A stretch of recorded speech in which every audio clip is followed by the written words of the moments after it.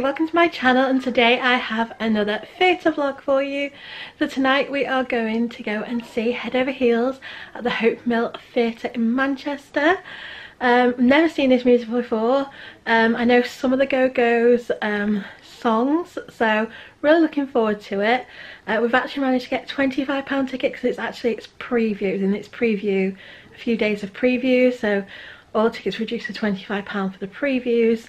So I think we're sat on row B. So yeah we're really excited. So obviously we'll show you to the theatre. Um, I don't think they'll have merch but I think they'll have a programme. And obviously I'll show you our view and everything and then we'll review the show when we get home. So yeah I hope you enjoyed this little video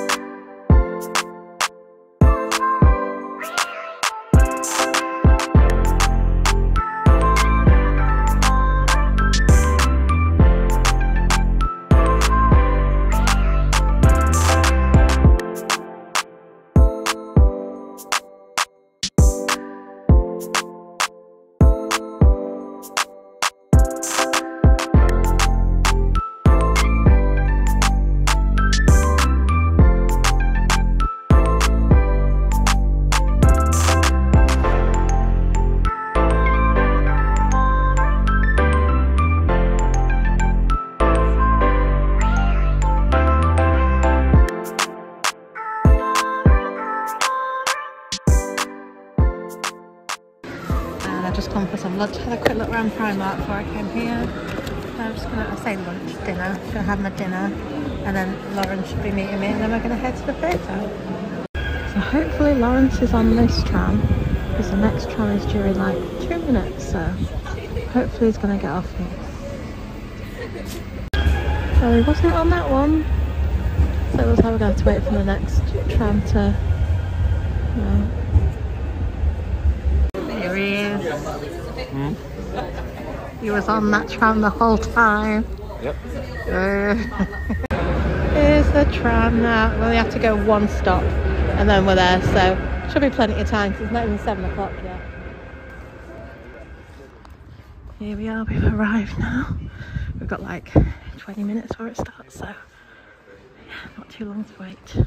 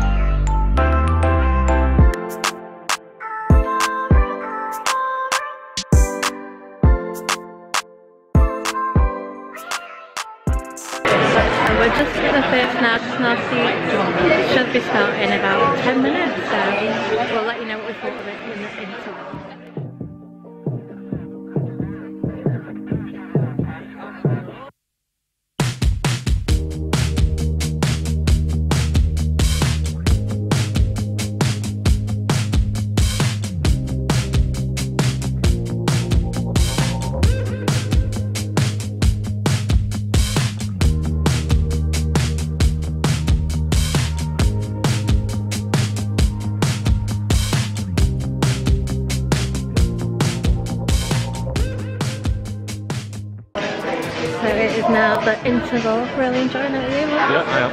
Yeah, really, really good. So we'll let you know more about it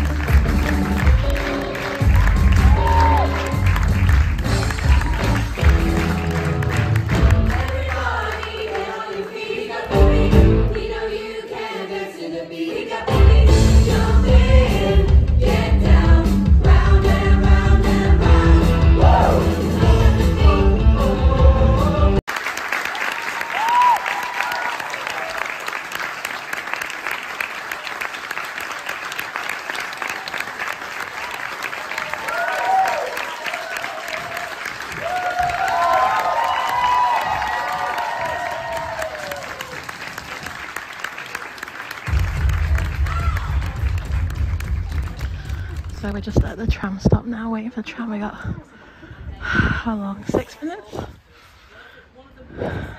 did you enjoy it, Laura? Oh yeah. Yeah, it was good, wasn't it? Yeah. Yeah. Definitely hard. recommend The story was a bit hard to follow for us. Yeah, but Uh, it's the language that we're using, that's what I found hard. yeah, it was really good. But we'll tell you more about it when we get here. Well, I will. Lawrence will go into bed. Yeah,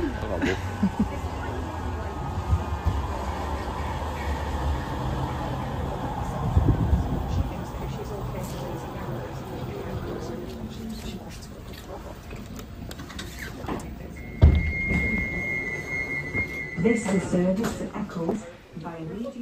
Hi, so we are now back from the theatre. Lawrence has had to go straight to bed because he's in work at 5am in the morning, so he needs to be up about 4, probably about quarter to 4, so he's gone straight to bed.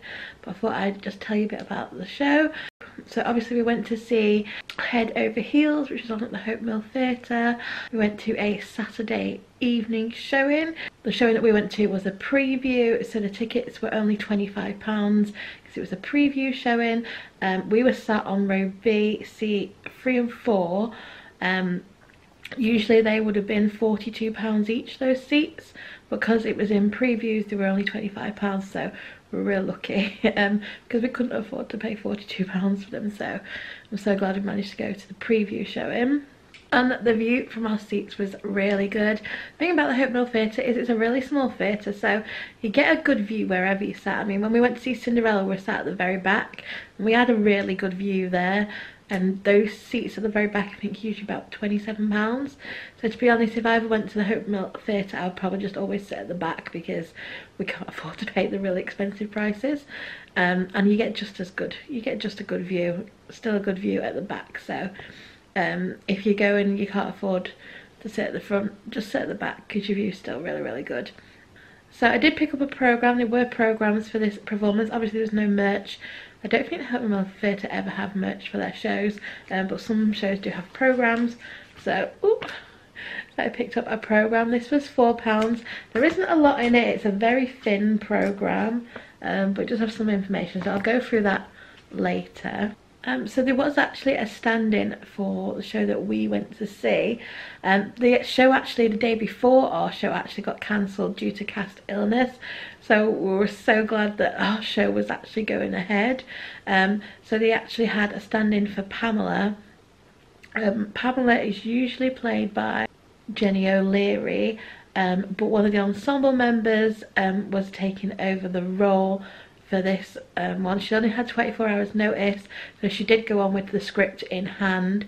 Um, but she was so good. She was really, really good, considering that she'd only had 24 hours notice and obviously had to have the script with her. She performed it really good, and her voice was amazing as well. And her name was Marina Tavolieri. I think that's how you say her second name. But she she was amazing. She was really, really good also the director Tom Jackson Greaves he actually performed as part of the ensemble um obviously because Marina is usually ensemble and she was playing Pamela. So he joined the ensemble for some of the um dances. So he was in the show as well. So the production of Head Over Heels at the Hope Mill Theatre is actually the European um premiere of the show. It's not been performed in Europe before uh, that I know of. I'm pretty sure it hasn't. Pretty sure I read that it was the European European premiere of the show. And the show is running at the Hope Mill Theatre from the 26th of January to the 4th of March. Um, the shows from the 26th of January till the 29th of January are preview performances. The show starts properly on the 30th of January. So the show is actually based on the book um, the Arcadia um, by Sir Philip Sidney. Uh, and the show was originally written and conceived by Jeff Whitty, adapted by James Magruder. This show was uh, directed and choreographed by Tom Jackson Greaves, and like I said, he actually performed in the show as part of the ensemble. So all the songs in this show are by the um, rock group. It's an all-female rock group called the Go-Go's, and um, I knew I knew some of the songs, but when I was listening obviously to the show I realised I actually knew a lot more of the songs than I thought I did. And the songs are really really good and um, I really I definitely really enjoyed the music in this show. Um, yeah um, the songs were great. And like I said I knew more of the songs than I thought I would have. So the show tells the story of the royal family of Arcadia who go on a quest to save their kingdom and stop it from losing its beat. And the beat is sort of like their divine power that ensures the kingdom's prosperity. The royal family consists of King Basilius, um, Queen Glycia, and their two daughters, Pamela and Philoclea. So the daughter Philoclea is considered like the plain one, um, just an ordinary looking, whilst Pamela is considered to be the most beautiful woman in the kingdom and is often presented with many suitors, none of which she finds suitable. Um, so in the story, what happens is the king gets a message from a new oracle called Pythio, who asks for a meeting. So the king meets with Pythio, who's a non-binary oracle, and they give the king four prophecies. And they and they tell him that once all the prophecies come true, four flags will fall from the sky. And if all four flags fall, then Arcadia will lose its beat. So King Basilius then makes his family and the royal court head into the woods in an attempt to escape the oracle's prophecies. So that is the basis of the story. So the musical at its heart is about unconditional love and acceptance and accepting people no matter of gender or sexuality. So it's a good a good moral story in there. Um, and it's a fun it was a fun fun story. They do sort of speak like more like a like a Shakespearean sort of language so it takes a little while to get used to. Um, I think Lawrence and I got a little bit lost in the story at some places um, but we thoroughly enjoyed it really enjoyed it. We enjoyed all the songs all the songs in this are really good. Um, the acting was spot on all the actors were, were, were really good and we just really loved it. I thought the choreography was good, um, the lighting, obviously it's a small theatre, um, so there wasn't much there set wise, but um, the actors really managed to get the story across even with little set and little props. Um, I just thought it was really good and we all, we, me and Lawrence thoroughly enjoyed it, really glad we went to see it. So I might as well show you the programme now and go through the cast list so I can show you who was in the show. Okay, so this is the program. Tells you here that it's on from the 26th of January till the 4th of March.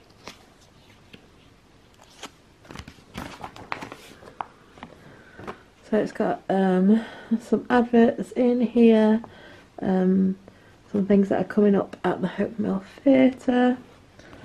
And then it goes on to Head Over Heels. So article here telling you about the Go-Go's.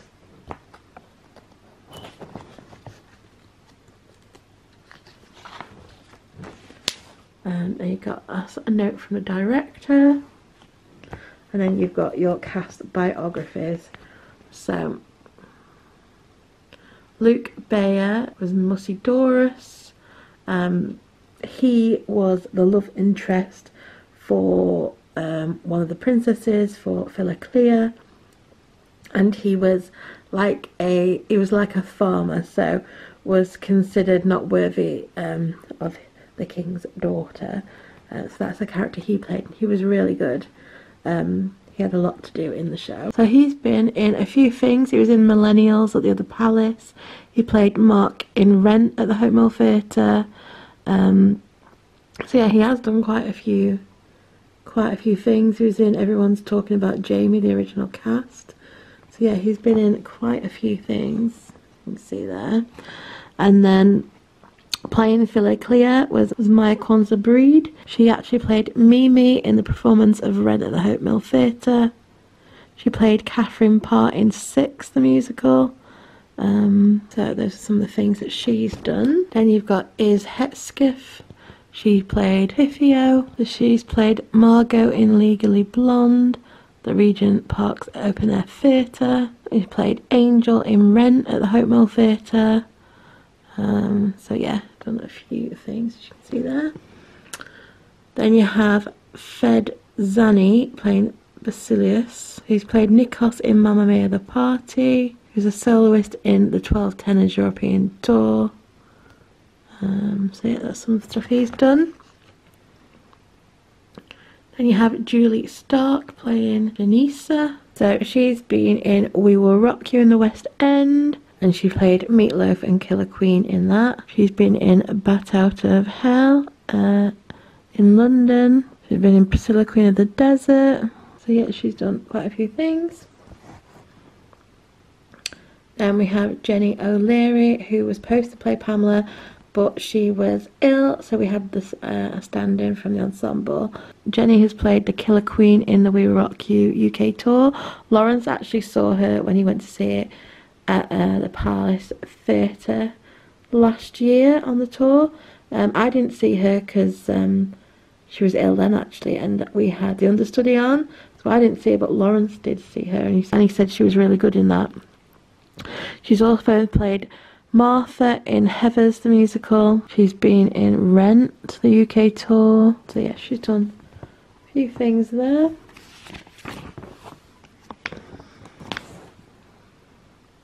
Then we've got Khadija Sallet, Sallet playing Mopsa. So her theatre credits include playing Madame Callisto in Doctor Who The Time Fracture. She's been in In the Heights, Legally Blonde and Ragtime. Then we had Daniel Page playing Dametas. Um, he was really good, he was funny. So he's been in Billy Elliot, uh, The Secret Garden, Priscilla Queen of the Desert. So he's got quite a lot of stuff that he's been in. Then we have Alison Driver. She was the ensemble and dance captain. Timo Tasber, who is also ensemble. Samuel Rotley, ensemble.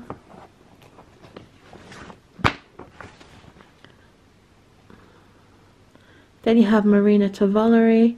Uh, I think that's how you pronounce the second name. Um, like I said, she actually went on with 24 hours notice to play Pamela. She did have the script in hand, but her acting and her singing were amazing. She was really good. I absolutely loved her voice. Thought she was great. Um, I'm not sure what other things she's been in. So she's been in um, Sister Act at the uh, at the Apollo in London. She played the swing and cover for Sister Mary Roberts. And she was also the swing and first cover for Cassie in a chorus line. So she's not been in too many things yet, but I would love to see her in something else um, where she didn't have to have the script in hand and properly see her acting then because she was so good. And like I said, she had a, an amazing voice. So definitely going to look out for her in other things because I think she is going to be really good. And then after your cast biographies, you just got your creatives.